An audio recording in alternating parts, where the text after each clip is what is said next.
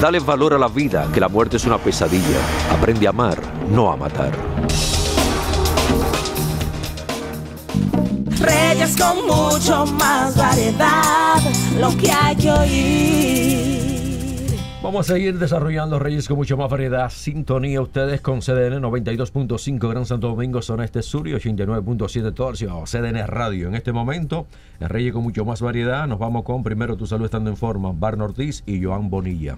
Mm, buenas tardes a todos. A Joan también, que te lo traje, que estaba por ahí como. No, yo, yo coge vacaciones. Hacer noviecito, cogí te lo traje porque. Yo le voy a hacer un cuento fue, ustedes. Yo fue casi venir- amarrado. Y vamos a votar de aquí. Voy a venir con palo y con hierro aquí a matar a. Buenas tardes al público que no me escucha. Buenas tardes a todo el público radio oyente y al que nos está viendo por el live en Instagram. Ustedes pueden hacer su pregunta también en esta línea marcando 809-683-8790. Agreguen otra, 809-683-8791. Otra más, pero gratis, de celulares y del interior,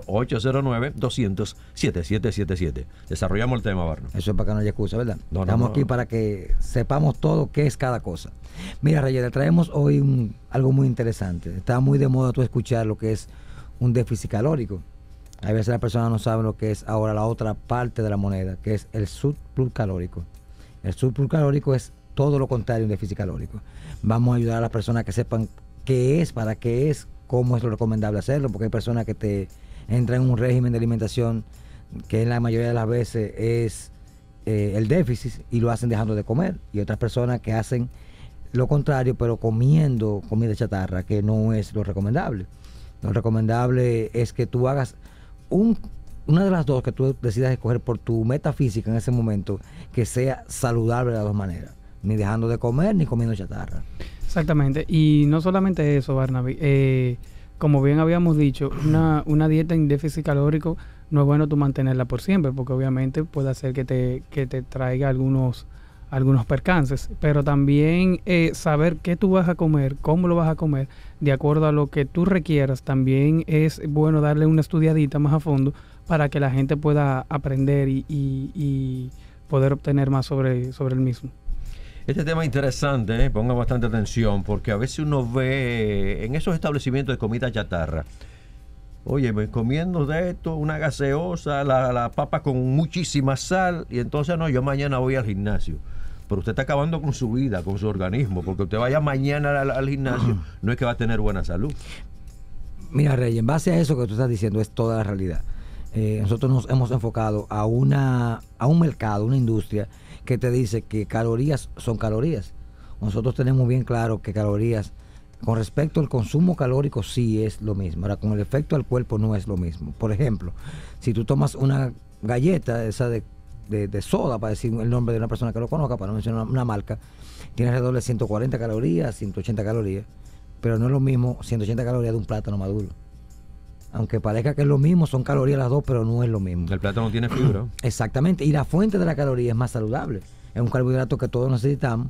Entonces, cuando tú estás en cuentas calóricas, tú tienes que tener una buena selección de alimentos. Sí, claro. Y eso mismo que tú decías también, Barnaby, aportando un poco más, es lo que la gente hace y lo que suena en la famosa dieta, el famoso bulk, que es donde la gente comienza a hacer alta ingesta calórica para poder aumentar más su masa muscular y todo eso y conseguir eh, cambios en, en su cuerpo afines. Pero ¿qué pasa? No saben qué comer.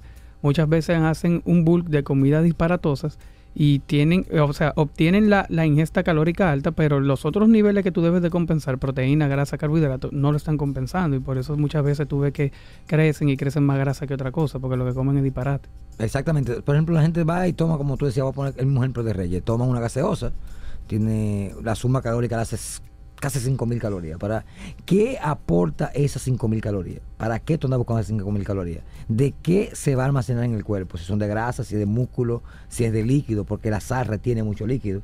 Entonces, como tú decías, las personas van, hacen la carga de comida sin pensar que cuando usted vaya al gimnasio otra vez lo que usted va a quemar las calorías, pero no va a, no va a quemar lo que tenía, o sea, la, la, la, la- el disparate, como decimos nosotros, comida basura, que tú te comiste, o sea, ya el cuerpo, el daño está hecho. O sea, tú con respecto a calorías, tú puedes subir o bajar de peso. Llevar calorías no es simplemente eh, mantener en un peso, porque tú puedes tener un peso, por ejemplo, Joan tiene ahora que 170 libras, Joan, tú tienes. Sí, sí, ahora mismo, después de la operación, estoy ahora mismo en 158. 158 libras, pero Joan es 32 talla pantalón. Hay personas que Sí, tienen, pero yo venía de 142. exactamente, hay personas que tienen tal vez las mismas 142 libras de Joan, pero son talla 28.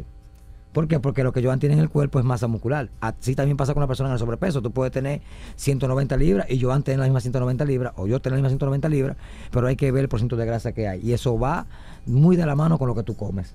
Sí, claro. Y es como, es como lo habíamos mencionado y como se mencionan, y como lo mencionan men- mentores anteriores. O sea, tú quieres subir, come. Si, si quieres adelgazar, deja de comer. Pero es saber lo que tú estás comiendo y lo que no estás comiendo para que puedas, para que el dicho tenga como concordancia. no- Ustedes saben que hay personas que quizá por no tener el conocimiento ven a alguien sin grasa, pero con la espalda más ancha, los brazos más... Tú sí estás gordo. No, yo no estoy gordo. gordo es una cosa. Eso pasa cada rato. Óyeme. No, no, no, eso no es gordura. Sí, tú sabes qué pasa Oye. con eso, Reyes, que es también lo que tú decías, es cuestión de conocimiento. Eh. Por ejemplo, yo veo personas que dicen, yo tengo tanto de brazo, tengo tanto de pierna, pero hay que ver qué porcentaje de grasa es de ese de esa musculatura. Otras personas, por ejemplo, con las mujeres pasa mucho, Joan, que ellos van mucho a la balanza. Si usted está haciendo pesas, que es lo que yo trato de explicar siempre, la masa muscular siempre pesa más que la grasa, o sea, en contextura. Tú tomas, por ejemplo, para que tú tengas una idea, la parte de un chicharrón, es un grosor de 2 pulgadas. Tal vez esa masa te puede pesar 10 libras, pero si es de, de fibra, por ejemplo, de carne de res en bistec, fácilmente esa misma cantidad te tiene el doble de peso. ¿Por qué? Porque es más condensada. O sea, así mismo pasa con respecto al peso. Hay que llevar bien claro el tipo de caloría, el tipo de alimento para llegar a esa caloría. Tú mencionaste el chicharrón y no es lo mismo un chicharroncito o una carne del, del cerdo cimarrón que el del cerdo normal. El cimarrón es atleta, ¿eh? No, porque anda Es atleta, suelto, ahí no hay grasa por No, manito. Tengo llamadas, hola, muy buenas. Sí, buenas. Ay, aló. Buenas, buenas, ¿cómo están? Yo estoy bien, estamos bien por aquí y por allá. Sí, se nota porque el programa está bien interesante Ay, muchas gracias. Gracias. y además con ellos se aprende cada día que tú lo llevas al programa. Yo quisiera que ellos me dijeran si cuando uno va a ejercitarse, o sea, caminar, he visto personas que se envuelven el cuerpo de funda. Ellos dicen que es para quemar grasa. Sí, que como una momia, como si fuera una momia, pero cubierta de funda. Y que, buena cuando uno más suda, quema más grasa. A ver qué dicen los expertos. ¿Eso es creencia o eso es eh, qué? Hay dos de las de la- hay de las dos, hay de las dos, hay de las dos. O sea, ¿Pero quema grasa de verdad o no? no es que quema grasa. No, no es que va a quemar No, grasa, No es que va a quema grasa, porque así fuera las personas que trabajan sudando quemaran grasa. ¿Qué ayuda, verdad? Tú calientas un poquito más la piel y cuando tú subes tu temperatura, sí, el cuerpo entra en un, en un estado de termogénesis que te ayuda a tu bajar un poquito más, o sea, eh, el cuerpo se condensa un poquito más, pero no como quemador de grasa. La mejor forma de que te quema grasa es comer sano, hacer ejercicio y una vida balanceada. Todos, hay muchos métodos que la gente utiliza y a algunas personas les funcionan. Yo tengo un amigo que dice que si te funciona algo, sigue haciéndolo.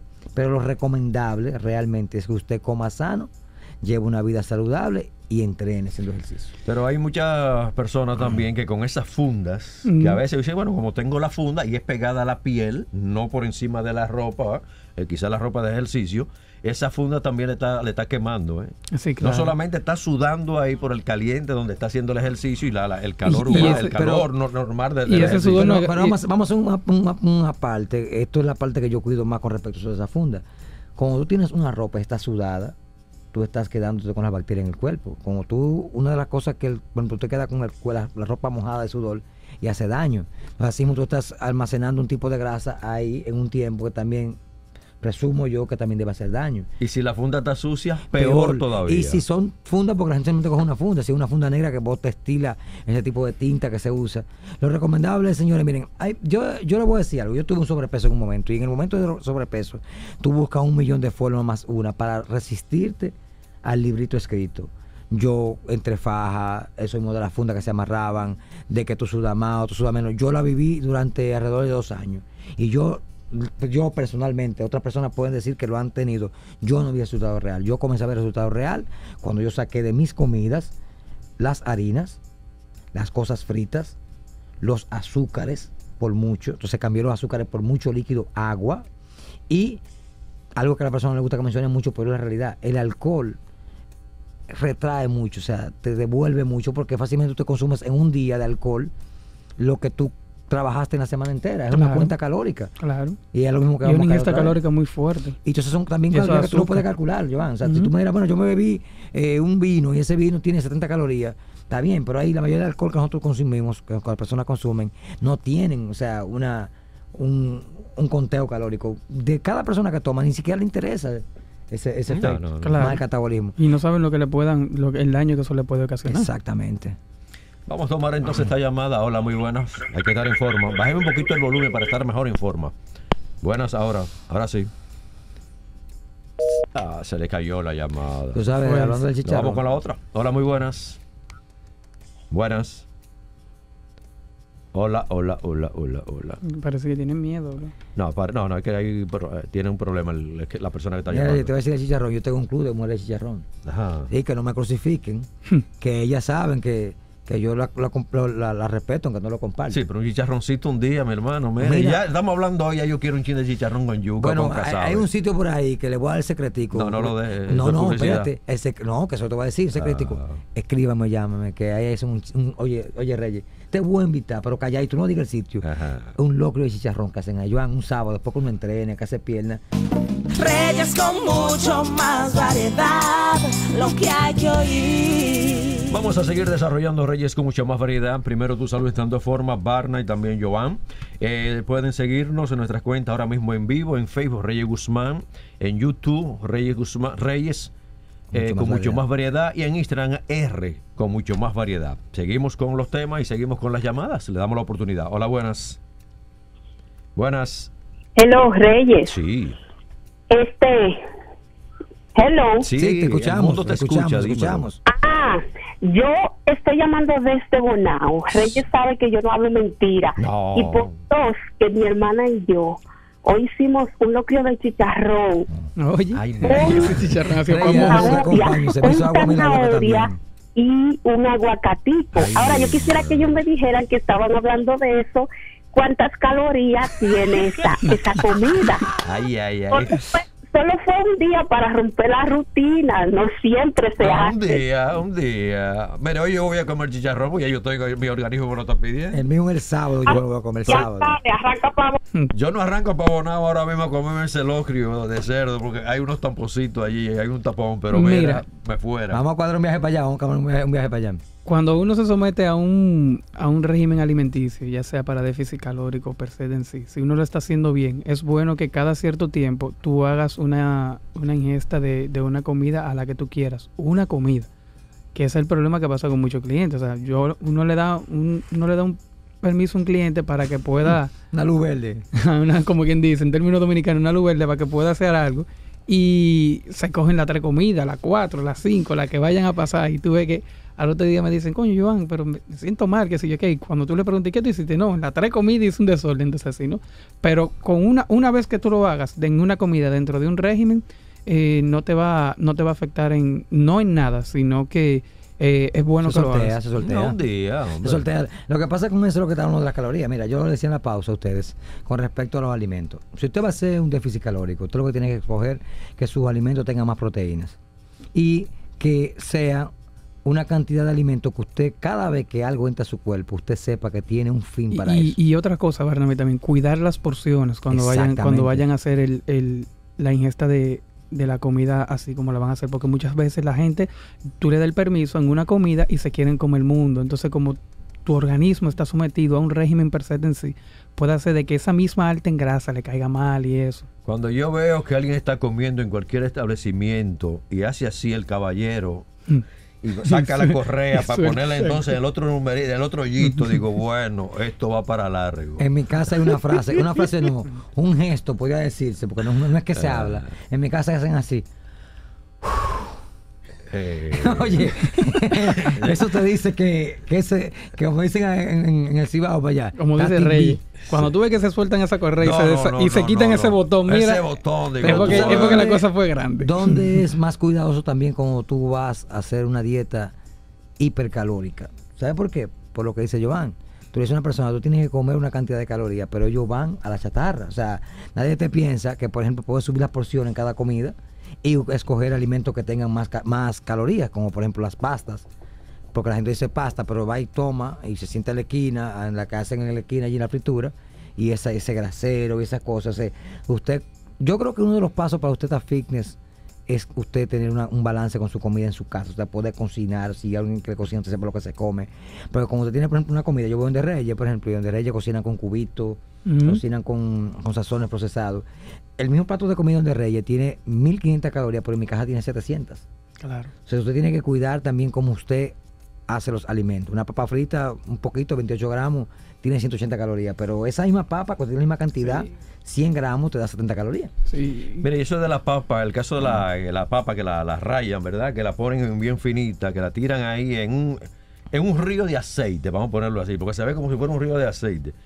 Oye, no hay algo que absorba tanta grasa como esa papa frita. Y No, entonces. ¿qué hace la gente? ¿Y qué hacen algunos establecimientos que tienen ese tipo de comida? Agarran el salero y fuá, fuá, fuá, fuá, fuá. Bueno, tuve aquí a, a dos médicos tratando ese tema.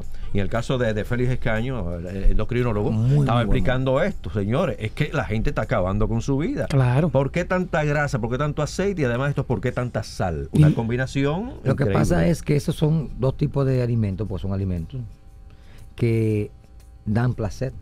Entonces, cuando tú vas a un sitio, tú lo que te recuerdas es que la comida estuvo buena. Entonces, las personas tienen que tener mucho cuidado con eso, de si que es el sabor bueno o si es la comida buena. Sí, claro. Y en ese mismo, como estaba diciendo Reyes, o sea, no solamente la papa, que, que tú lo pongas en esa piscina de aceite, como uno ve, o sea, es lo que, cualquier alimento que tú eches ahí, bajo ese aceiterío, o sea, te, te va a hacer daño obligado. Yo tengo un ejercicio. Usted mide, lo raya con lo que usted crea, el aceite antes de freír. Y dura una semana friendo cosas. Y con usted pasa esa semana que usted frió en esa semana en ese mismo aceite. Es más, si usted quiere para que sea más higiénico, cámbielo. Pero póngale la medida. Y usted se va a dar cuenta qué cantidad de aceite entró a su cuerpo en una semana. No hay una forma de que usted entienda eso. Con usted Mira, un buen fríe- ejercicio, un buen Cuando usted fríe en su casa, por ejemplo, en mi casa, yo sé cuando no estoy si están friendo. ¿Por qué? Porque yo sé dónde dejo el envase del aceite y dónde lo encuentro. Un buen Y ejercicio. el tiempo que me dura el aceite en mi casa. Por ejemplo, en mi casa se compra un aceite de oliva y ese aceite de oliva dura 3, 4 meses. Si me frieron, me dura más y medio. Porque se consume más cantidad. Sí, sí, sí, sí, Eso es a mí que tenerlo bien, bien en, en cuenta para tú no consumir de más, como dice Joan. Las porciones también son calorías. Las cantidades altas también te van a mantener en una caloría alta.